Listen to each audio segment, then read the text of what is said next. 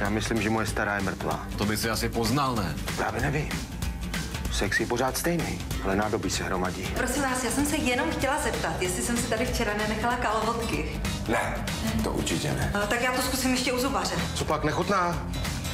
A přijde mi to takový nějaký jako slabý, víš? Oni totiž v návodu psali, louhujte pitlík ve vroucí vodě po dobu pěti minut. A to vydrželo jenom minutu a půl. Kameňák. Pondelok o 21.20 na Markíze a už teraz na Vojo.